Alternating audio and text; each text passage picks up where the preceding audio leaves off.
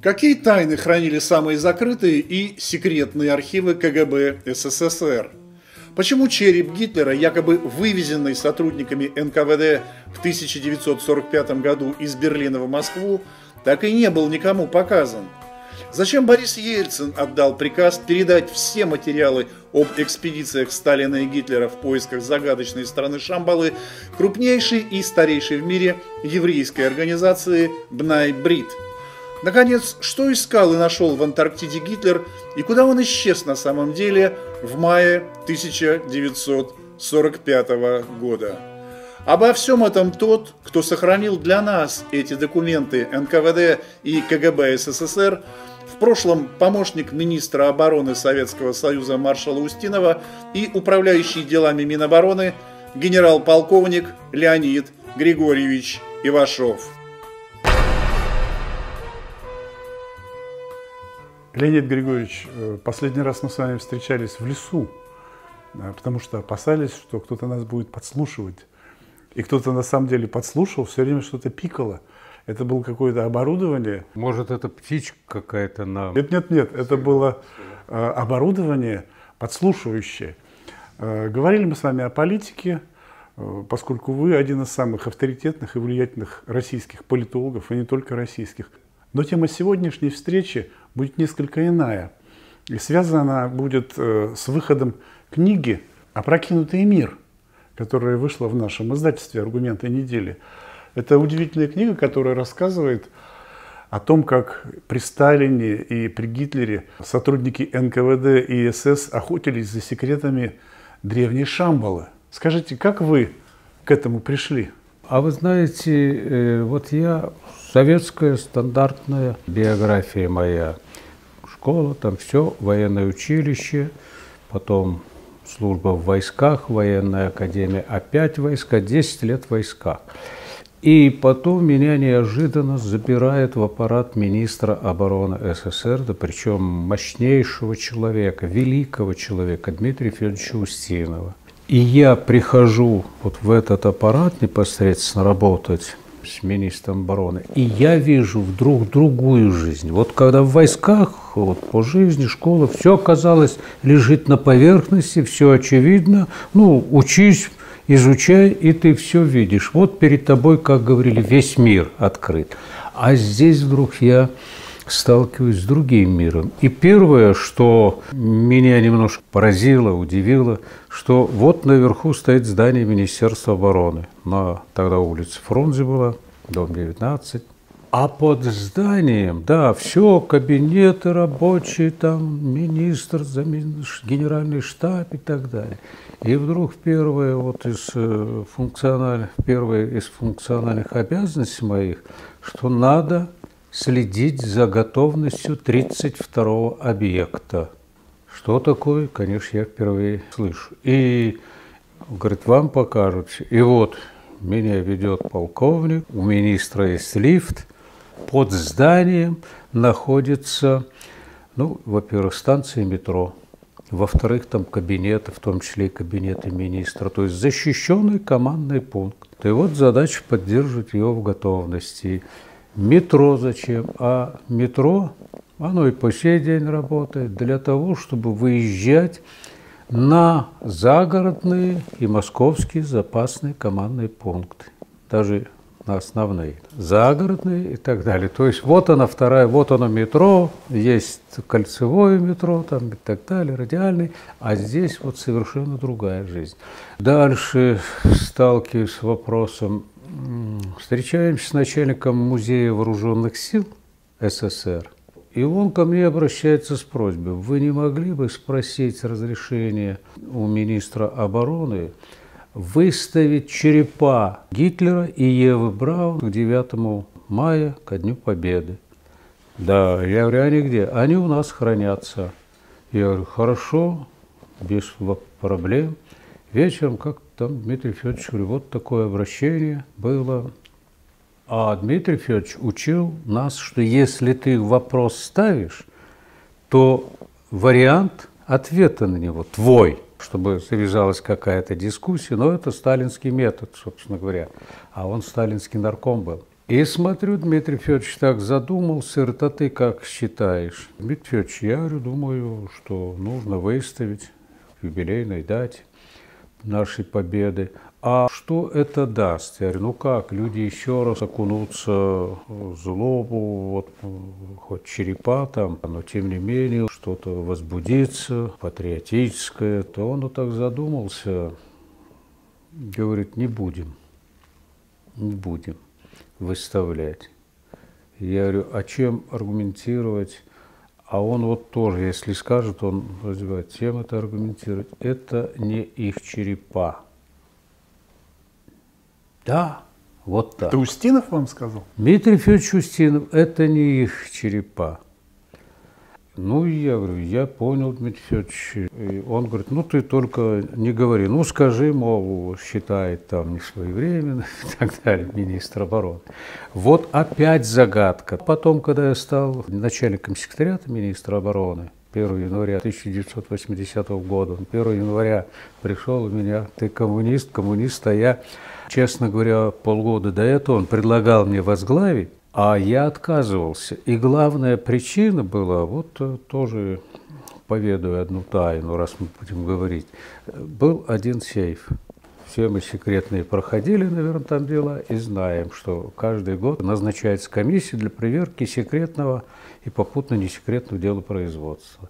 Так вот, был сейф, когда председателем комиссии является министр обороны, и начальник секретариата, и его первый зам – члены комиссии. То есть сами себя как бы министр обороны, ну, вообще-то не имеет назначать права, но здесь вот такое исключение дали. То есть это только эта комиссия могла вскрыть этот сейф? Ну, я ключи у меня были, я в любой момент мог вскрыть, но это вот сейф, где самые-самые сокровенные хранились. И исторические артефакты, будем говорить там, и создали, когда вот Берию арестовали, Хрущев, там, Маленков и прочие, то было принято на президиуме тогда или политбюро решение о том, что разнести самые сокровенные исторические факты – они хранились в НКВД в основном. Разнести по разным ведомствам. Ну и часть Минобороны. Ну, во-первых, документы, к которым там четыре человека допущены. Были документы, они в, другого, в других сейфах хранились, где там ну, особой важности. Серия там, две-три буквы серийных не буду называть. И когда всего в Министерство обороны знает 5-6 человек допущены, ну не дай бог, какая-то там где-то утечка, самый младший по званию, по должности, я это на тебе. И вот это вот немножко давило. Тем более мой первый зам, который отвечал за это, вел и документы Политбюро, Семен Егорович, фронтовик. И он говорит, Леня говорит, есть принцип, меньше знаешь, крепче спишь. И я отказывался. А здесь 1 января Дмитрий Федорович, ты коммунист, коммунист вот назначил. И вот там действительно я посмотрел, э, ну, во-первых, вся информация уровня министра обороны вот идет, а это до 150 телеграмм ежедневно – их нужно разбирать, а это в основном разведывательная информация. Это и по линии МИДа, и по линии там соседской разведки, нашей разведки, там торгпредставительства и так далее. В основном она идет вот такого оборонного характера к нам. Многое получаешь и видишь совершенно другую жизнь. И, конечно, ну вот еще один случай был, пропал наш самолет Ан-12, в Анголе. Он где-то полетел, там в районе гор, значит, рухнул. Но там были наши советники. И вот Дмитрий Федорович найти, найти, найти не могут. И вдруг получаем информацию из Штатов от наших людей, что есть там некие лаборатории, центры, которые определяют ну, без присутствия. У них вот эти нетрадиционные технологии, они у них развивались давно. То есть люди, которые, значит, вот сидят здесь, но читают, что за тысячи километров видят как бы. И вот э, приходит, ну, совершенно секретная, естественно, информация, что координаты такие-такие этого самолета. Я Дмитрий Федоровичу зашел, показываю, не знаю, кому там, ну, понятно, начальник генштаба там, Клопанок, Он говорит, покажи Николаю Васильевичу Агарку. Он говорит, пусть направ... Э, распорядится, чтобы проверили. Я зашел к Николаю Васильевичу, он спокойно это воспринял. Послали, увидели хвост торчащий. То есть много загадок, о которых мы не знаем. Ну и по, поскольку я кандидатскую стал писать, потом над, над первой докторской, второй стал работать, и я стал понимать, что вот та история, которую нам дают, и причем та эволюционная теория Дарвина, ну это где-то идет повторение Птолемеевской модели, что Земля в центре, все вращается вокруг – но дальше идет, что мы единственные разумные сущности во Вселенной, что вообще жизнь только на планете Земля, а дальше ее нигде нет. Ну, когда получали мы информацию о летающих объектах, неопознанных летающих объектах. Это в Минобороны СССР? Миноборону, ну, первыми моряки докладывают э, отовсюду, причем такие там вещи докладывали, что действительно не понимаю, что это, ну, неземного происхождения. Ну, например, докладывают там подводная лодка наша атомная на боевом дежурстве в Индийском океане, ну, и надводные корабли, обеспечение ее деятельности. И вдруг где-то ближе к утру местного времени вдруг начинает светиться водная толща, и яркость этого света нарастает, нарастает. А тогда же жили мы в режиме обмена ядерными ударами, и лодка на глубине связи с ней нет, естественно. И вот что это может быть? Американцы нанесли ядерный удар, первая мысль у командиров возникает. И все это светится таким ярким-ярким. И вдруг оттуда выныривает круглый диск. Да, это вы, вы серьезно сейчас говорите? Зависает и потом резко уходит. Вот как... Это прямо в докладах, которые это в вы докладах, читали в качестве да, э, помощника управления военно-морского флота. Они, кстати, первыми вот об этом стали. И первая директива была, если не ошибаюсь, там даже номер 21 а там 2021, где командирам кораблей, подводных лодок ставилась задача наблюдать, описывать и при возможности фотографировать. Все это было. И вот, естественно, это возбудило у меня вот этот интерес – и в своих диссертациях попытаться понять, что это такое. Лин Григорьевич, если говорить о, каких- о каких-то разумах внеземных, то ваш интерес к этой теме, он не мог остаться незамеченным. И судьба впоследствии, вы мне раньше рассказывали, а сейчас, пожалуйста, расскажите это всем, как распорядилась судьба с этими секретными документами. Случилась перестройка, случился полный развал во все архивы КГБ и Министерства обороны. Начали проникать какие-то э, прохиндеи, пользовались вот этими архивами. И что случилось? Почему вы узнали очень много того, чего не знал никто, судя вот по этой книге, которую мы издали, издали «Опрокинутый мир». Как к вам попали документы, на основе которых была написана эта книга? Ну, первое маленькое замечание. Мы, кто работал с такими великими людьми, как Устинов, Агарков, ну и Алексей Николаевич Косыгин, было больнее всего наблюдать за тем, что происходило в годы перестройки, особенно после. Потому что это были монстры, вот тот же, ну, Устинов я сказал, Ефим Павлович Славский, вот который поднимал нашу атомную промышленность, науку и так далее. Это ж гиганты были. И когда бурбулисы какие-то выбегали на эту государственную должностную ниву, даже я пионерским лагерем не назову. Может быть, он и хочет что-то полезное делать, он никогда не сделает. Нет опыта, нет знаний, нет преемственности. Все торговали, кто может только что-то продать. И началась распродажа вот этого важнейшего национального богатства наших гостайн, наших секретов, наших все. Ну и сложилось тоже, что продавать все, что можно. А у нас Дмитрий Федорович Устинов дружил и вместе работали с Юрием Владимировичем Андроповым, Андреем Андреевичем Громыко и так далее. Ну и мы, естественно, те, кто эти встречи там обеспечивал, руководители аппаратов взаимодействовали.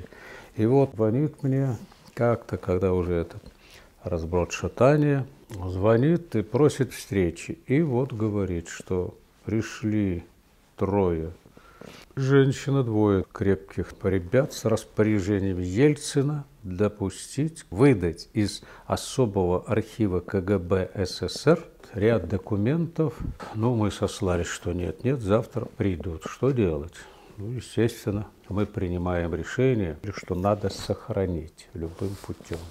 А где сохранить? Я начальник управления Министерства обороны СССР. Тогда уже были закрыты у нас такие вот охраняемые помещения. Ну, как не пойти на это? Вот и все. А потом... То есть вам эти документы передали, а каким образом? Дальше все просто. Приезжает машина, знаете, типа микроавтобус, Выгрузили, закрыли, предупредил там офицера. Это в каком-то гараже Министерства обороны? Зачем? Да? В здании Министерства обороны. В здании Министерства? Да, а там у нас был так называемый наградной фонд. Вот там мы сохранили до определенного времени. А сколько они там лет пролежали? И почему их никто не Не буду я ничего говорить. Пока они хранились, был еще, знаете, такой пятый научно-исследовательский центр КГБ СССР, ТРОМП. Туда тоже нагрянули. Прибыли и туда, тоже с распоряжением Ельцина. Этот нальют два стакана. Как оказалось, это Бнайт, представители Бнайт Брит были. Тоже пришли туда, вот перечень. И вот я обратил внимание как раз и попросил оставить, значит, вот как раз вот эти документы смотрю об экспедиции Якова Блюмкина в Тибет.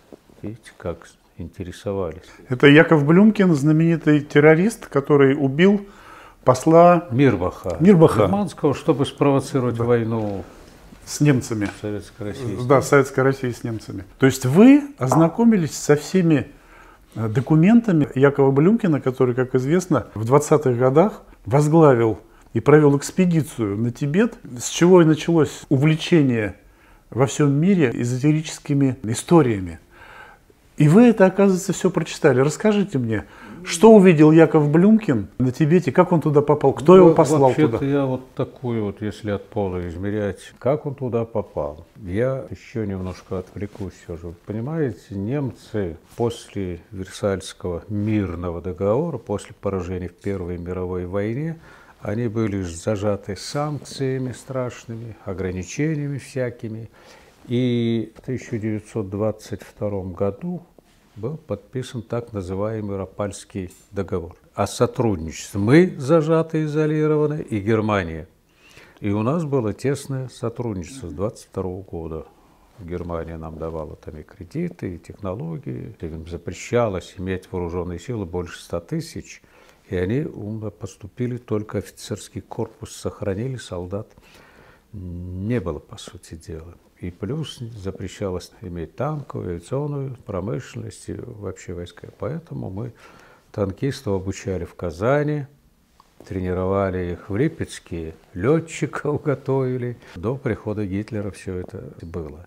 Но немцы еще сделали один серьезный шаг. Вот когда их зажали, они сосредоточили научный потенциал и дали вот эту как бы волю научным и околонаучным исследованиям. И у них вот эта эзотерика, все, все, все это проявилось. Ну и появился вот такой выдающийся ученый, Виктор Шаубергер, потомственный лесник, наблюдая за тем, как живет природа, он стал создавать механизмы. Ну вот мы не загадываемся, вот горели миллионы гектар у нас тайги.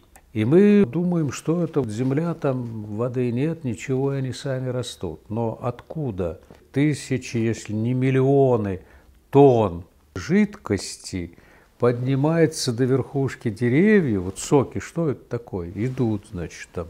Какая сила, какая, какие насосы их поднимают, причем регулируют. И он заметил это и стал исследовать в виде вот технических совершенств, оружия прежде всего, и поставили задачу. И немцы этим увлеклись. Было общество Туле, потом в 30 1935 году, 1934 было создано общество Аненербе, вот постигать все. Но советская эта экспедиция была на Тибете в 20-е годы, еще до Аненербе. И что она там нашла? Туда устремлялись не только мы. Там были и англичане все время стремились, и французы, ну, китайцы, японцы, все постичь, потому что тайна вокруг горы Кайлас, там и вот в этих окрестностях, они э, действительно были. В 24 еще году поехал туда немецкий путешественник Леон, поехал исследовать легенды. Легенда о том, что есть где-то подземные города, где живут там миллионы жителей, что есть там свет и так далее. И он, приехав, выпустил книгу об этом, что действительно он был там, видел. Ну и после этого, значит, и немцы заинтересовались. А Тибет, знаете, все время как-то тянулся к России. Этот загадочный Тибет, то, что мы называем Шамбала – тянулся к России. Еще ведь при государях наших, при Российской империи уже контакты развивались. Они советскую власть встретили благостно, особенно, значит, вот в том э, разрезе, что отделили от государства религии. Они не признают никакие другие религии, там, кроме Это буддизма. на Тибете. Да. И они присваивают Ленину титул Махатма, то есть святой, посвященный. И на похороны не успели, естественно, но приезжают. В 25 году сюда делегация большая, принимает их Дзержинский, и они предлагают советской власти направить туда делегацию, они выдадут огромные тайны, которые помогут укрепить там и так далее. Да. Ну, поскольку Ленин умер, Сталин еще не у власти, те, кто захватили реальную власть в России – они, именно вот этого авантюриста Блюмкина, направили с небольшой делегацией туда за знанием. Он туда выехал в 26 году. Причем отправили его достаточно солидно. 100 тысяч золотых рублей по тем временам дали ему. Ну и там и другие дары и так далее.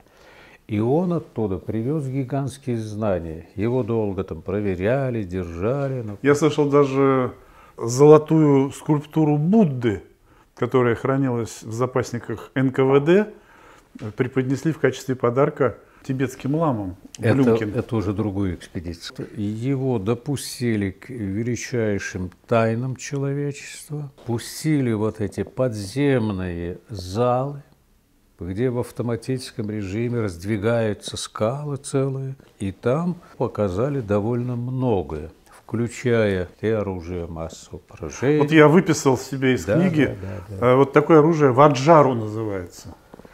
Ваджару, щипцы ваджару. Это, вот расскажите, что такое щипцы ваджара?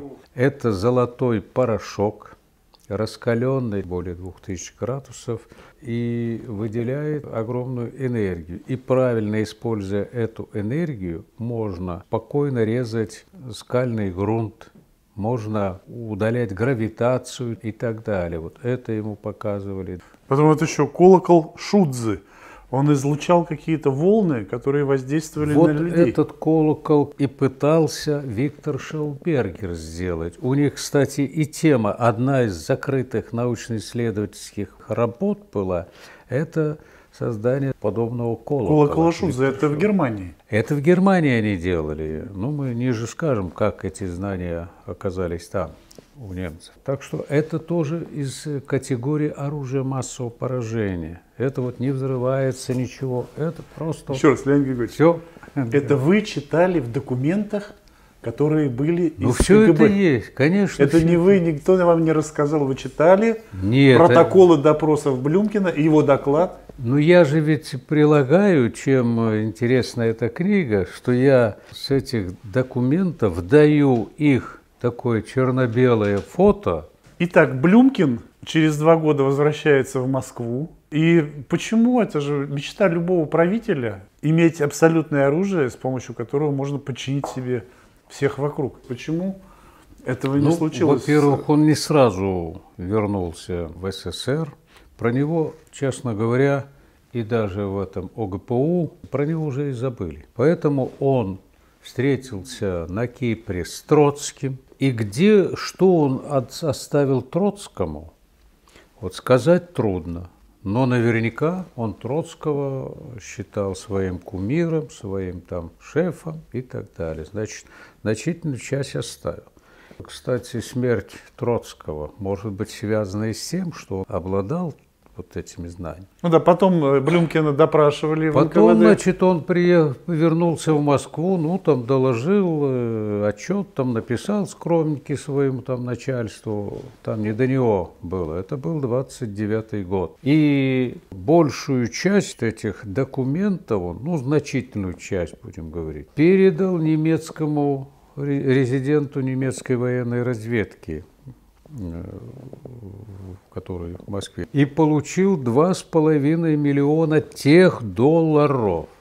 Тех долларов. Это опять же из документов НКВД. Все это его допросы, все они у меня по сей день есть. Так что. Но они взяли эти документы у него. Дальше Брюмкин попадается, ну, как всегда, на бытовом где-то. На девочках. Да.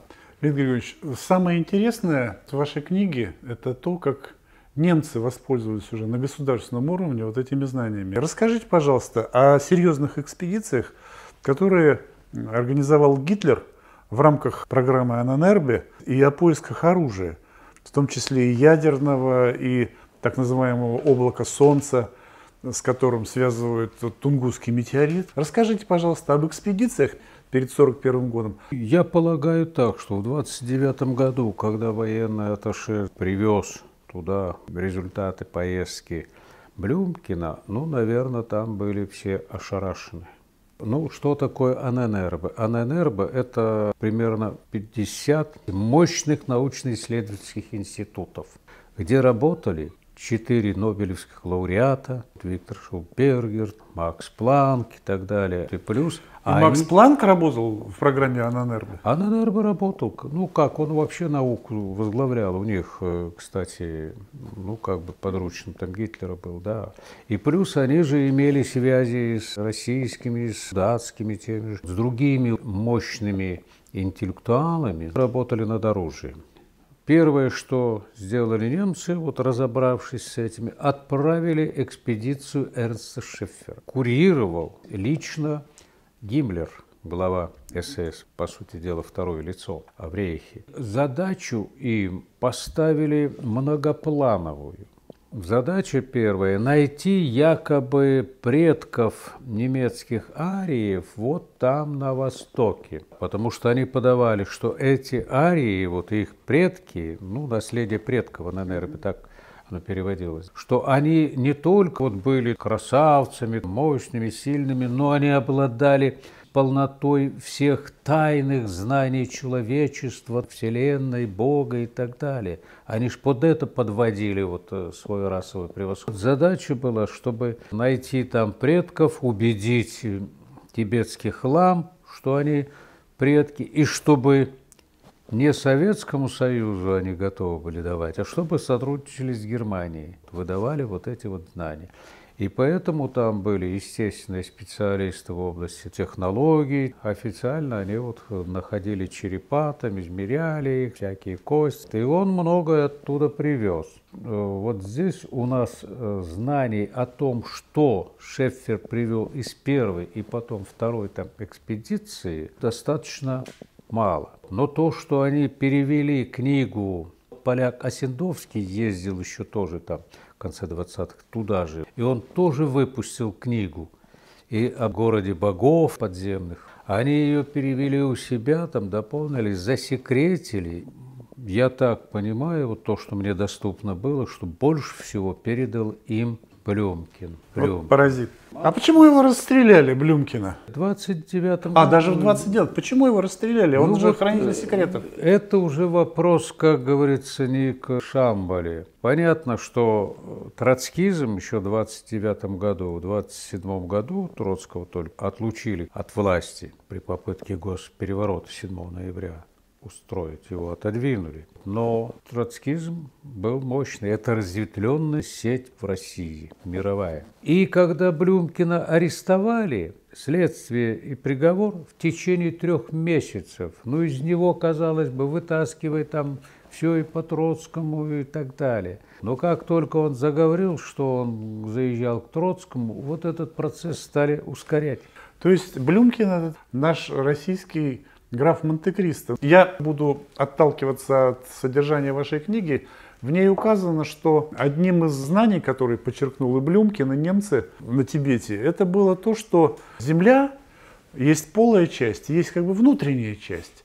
И входы находятся на полюсах Земли и на горе Кайлас. Но немцы, судя по документам КГБ СССР, как раз воспользовались этим знанием и начали искать вход в Антарктиде. Была послана экспедиция, были какие-то 150 специальных подводных лодок сделано. Это из документов КГБ. Я все время буду это повторять. Это не наши досужие разговоры. 150 подводных лодок, которые... Спецконвой фюрера. И они начали регулярные рейсы в Антарктиду. Было судно под названием «Швабия», на котором находился гидроплан. Он мог взлетать со Швабии с помощью паровой катапульты и садиться на воду. Его дальше поднимали краном. Там было два таких самолета на Швабии. Была найдена какая-то загадочная земля, где был прекрасный климат, где были озера с пресной водой – они назвали землю Новой Швабией. Что говорят документы КГБ СССР? Ну, во-первых, как структуру Земли определили? Что есть вот ядро там металлическое и безжизненное и так далее ядро, а дальше там вот эти слои там магмы, базальты и так далее. Ученые предполагают, то есть структуру Земли мы абсолютно не знаем, то есть предполагаем. Версия такая, что вот есть два шарика. Как это произошло, вот э, когда Земля обживаться стала, вращалась, вращалась, то внутренний шар оторвался от единого.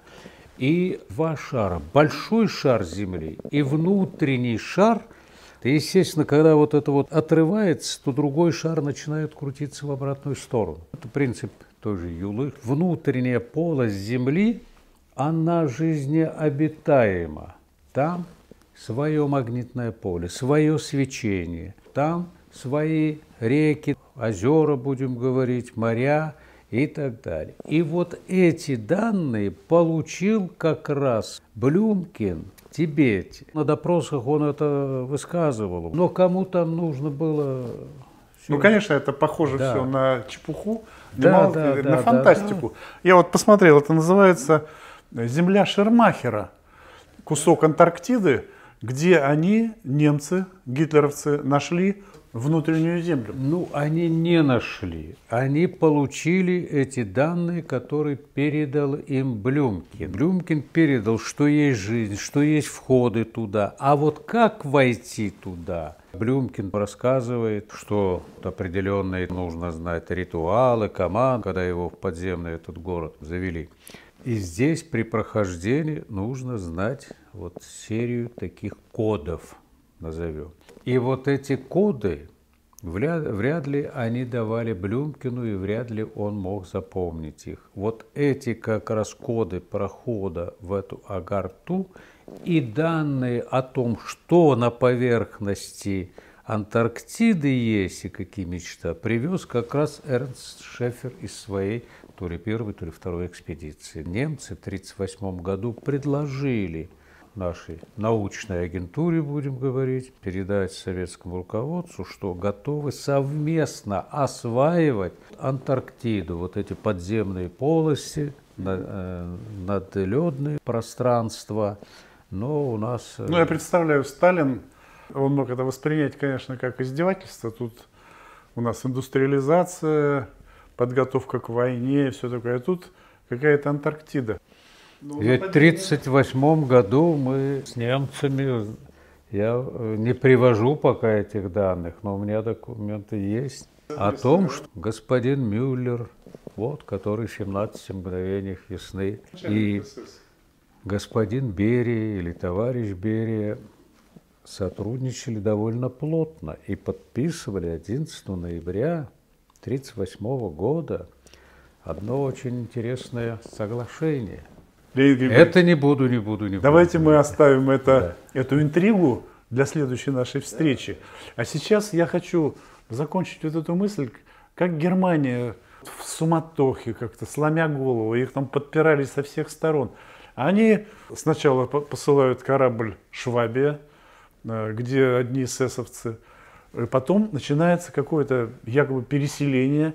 Гитлер, как мы начали наш разговор, оказывается вовсе не его череп, и даже не череп его подруги, а он, скорее всего, он оказался в Антарктиде.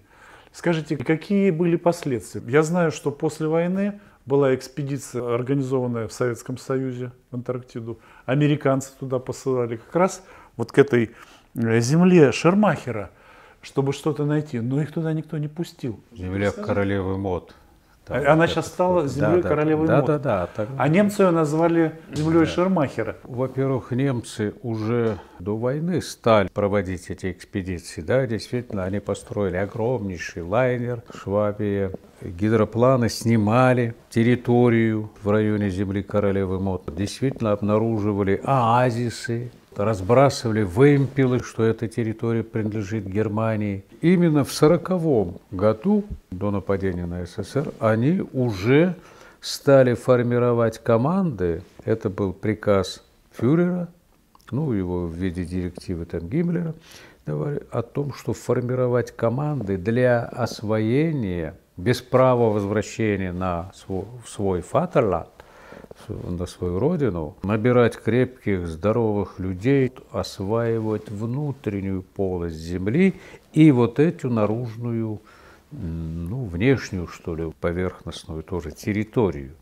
без права возвращения на родину. Тогда уже был запущен этот приказ, директива, и именно э, подразделения спецслужб, СС, прежде всего, подбирали. Потом уже в ходе войны, уже в 41-м, 42-м возвращались, потому что при всем немецком патриотизме не нашлось много ехать туда. Но, тем не менее, такие команды ходили. Формировать стали спецконвой фюрера, особые подводные лодки. Лодки, каковых не было ни у кого. Они работали на спирту. Когда первый проход был совершен, до войны или в ходе войны, я полагаю, что в ходе войны, потому что данных у меня этих нет. Первый проход во внутреннюю полость Земли. Вот этот шарик, который вращается, внутренняя полость, вот они проходили туда. И наши смершевцы, это контрразведка, когда Германию разгромили, нашли вот эти карты подводных маршрутов входа царство Агарту. И там было расписано, как этим лодкам проходить туда. Уже где-то в июне 45 -го года американцы одну лодку немецкую загнали, там и аргентинцы одну лодку взяли. И экипажи уже никаких секретов там не хранили, видимо. И вот они показали, что они регулярно подходили к определенной точке вот в районе земли королевы к Антарктиде, останавливались, всплывала другая лодка, немецкая же, которая ходила туда во внутреннюю полость земли. Они пересаживали пассажиров, передавали там грузы, перегружали грузы, потом эта лодка уходила, а эти лодки возвращались и брали грузы и людей на следующий рейс. Командир У-530 лодки, он как раз показал, что последний раз – он ходил туда в мае 45 -го года, и это был особо секретный режим для экипажа лодки. И была группа лиц, среди которых он как командир, значит, опознал Гитлера.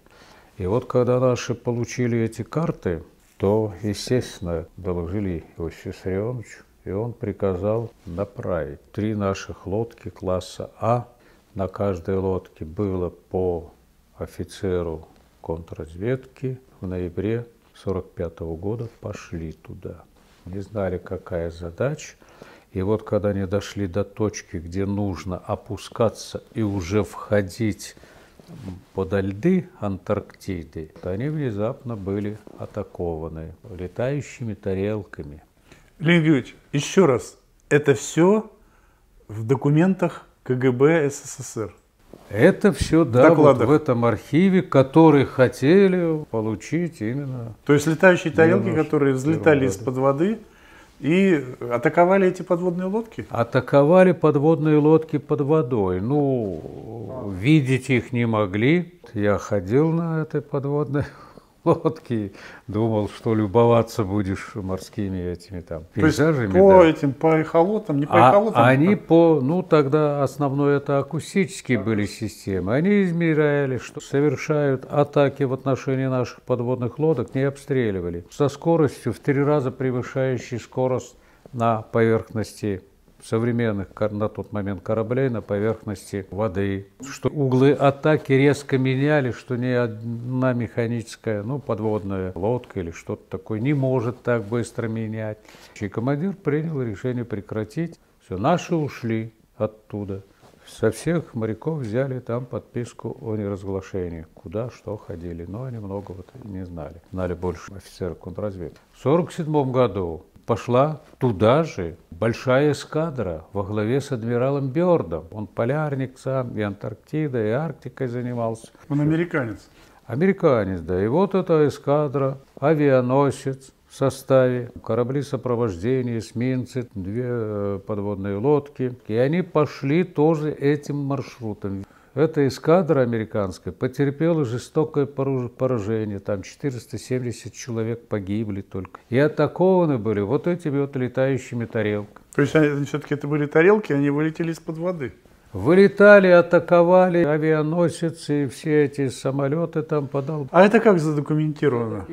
Бёрд попытался, когда уже находясь в отставке, попытался, значит, и журналистам пообещал, скоро вы все узнаете. Его сбила, естественно, машина. Ну вот в этом году, 2019 году, американцы рассекретили донесение своих агентов в Латинской Америке о том, что там видели Гитлера, местонахождение указывает и так далее. Но, правда, ЦРУ, рассекретив просто донесение агентов, но не подтверждает, жив Гитлер или нет. Но есть в этих архивах, и я привожу в этой книге доклад ЦК КПСС о бегстве Гитлера, о подмене Гитлера. И указания нашей разведки и военной, и не военной, особенно вот в латиноамериканских странах, 45 год, август месяц. Ну и там вот доклады Сталину, того же Меркулова и